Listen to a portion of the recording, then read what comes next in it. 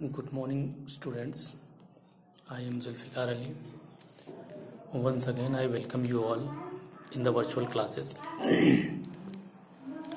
so, as we were discussing about the tenses in that series, we have completed up to past indefinite tense. Now, next is past continuous.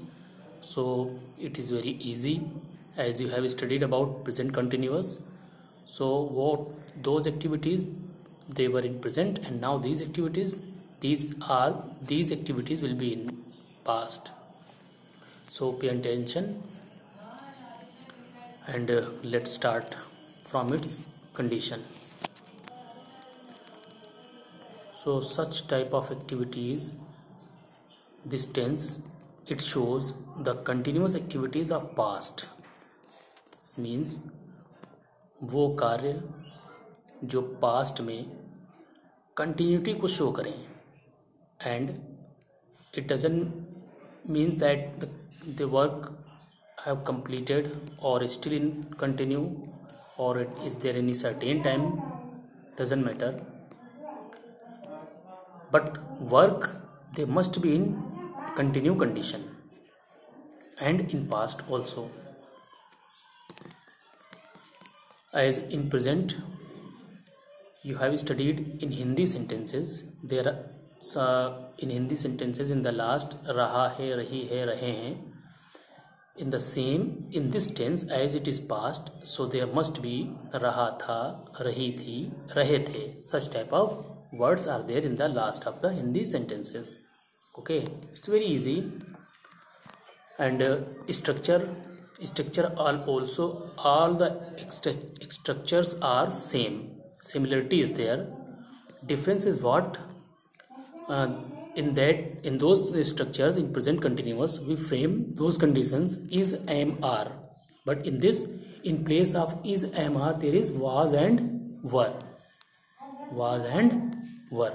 So affirmative subject then was or were according to object so according to subject if it is singular means if it is he she it name or i. I also is counted in a singular subject in the past continuous tense.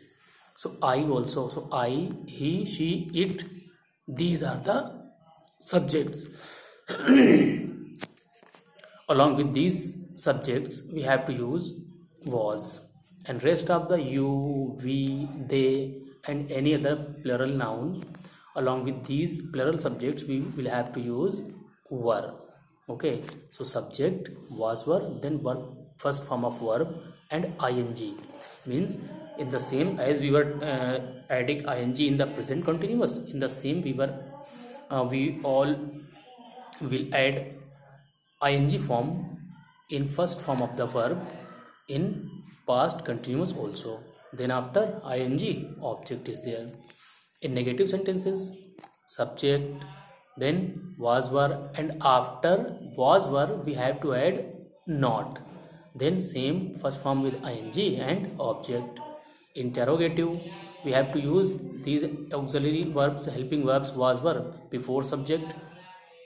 So first of all helping verbs was were then subject then first form with ing and object and question mark. So, these are the structures. Means हम sentence को ऐसे frame करेंगे, इन structures की help लेके। अब suppose sentence is there वह तैर रहा था। There is no time limit there is no point of time nothing is there वह तैर रहा था। Means this activity was continue in the past he was swimming he was swimming वह तैर रहा था। Singular subject he was swimming तुम बहाना बना रहे थे। मीन्स तुम you you subject plural so were you were making an excuse तुम बहाना बना रहे थे। Okay okay. क्या संध्या स्वेटर नहीं बुन रही थी? इट इज़ इंटेरोगेटिव क्या is there interrogative as well as negative नहीं इज़ देयर बोथ मीन्स इसमें क्या भी लगा हुआ है और नहीं भी लगा हुआ है। इसका मतलब ये इंटरोगेटिव भी है और नेगेटिव भी है। सो so, इंटरोगेटिव के लिए as I told you we will frame was were before subject so was is there was then Sandhya. Was Sandhya Sandhya singular verb singular subject that's why we at was was Sandhya not knitting the sweater and question mark so it is interrogative with negative okay if there is sentence तुम कक्षा में शोर क्यों मचा रहे थे? क्यों? ये क्यों जो बीच में आया in middle of the sentence it shows that this sentence belongs to double interrogative double interrogative mean दो sentences which can't answer yes और नो मीन्स वो सेंटेंस जो यस और नो में जिनका, जिनसे आप उत्तर नहीं पा सकते ऐसे क्वेश्चंस जिनका उत्तर यस और नो यानी हाँ या ना में नहीं दिया जा सकता, उनको हम बोलते हैं डबल इंटरोगेटिव इनको हम डब्ल्यू एच यानी क्वेश्चन डब्ल्यू एच टाइप बोलते हैं क्वेश्चन वर्ड्स जिसमें क्या, क्यों, कैसे, कहाँ, कब, कौन, ये सारे जो होते हैं वर्ड्स होते हैं, शब्द होते हैं, ये हिंदी वाक्य के बीच में आ जाता है कहीं पे। जैसे यहाँ पे आ गया है, तुम कक्षा में शोर क्यों मचा रहे थे? अब ये क्यों बीच में आ गया? तो जब ये बीच में आता है तो हमने क्या बताया था कि इंटरोगेटिव से पहले हम क्या कर लिखते हैं? क्वेश्चन वर्ड यहाँ पे क्वेश्चन वर्ड लिख देते हैं। इंटरोगेटिव से पहले, इसमें इंटरोगेटिव से स्ट्रक्चर में वाज वर्ड से पहले क्वेश्चन वर्ड और वही क्वेश्चन वर्ड मानी डब्ल्यू एच टाइप है तो यहाँ पे ऐड कर देंगे। क्यों है? सबसे पहले इसको ट्रांसलेट करिए। क्योंकि इंग्लिश क्या होती है? वाई सो वाई अब क्या ये तुम कक्षा में शोर क्यों मचा रहे सब्जेक्ट इज़ यू तो यू के साथ में हम क्या लगाते हैं? Were were is there after why were why were then subject you making a noise in the class why were you making a noise in the class so students these are very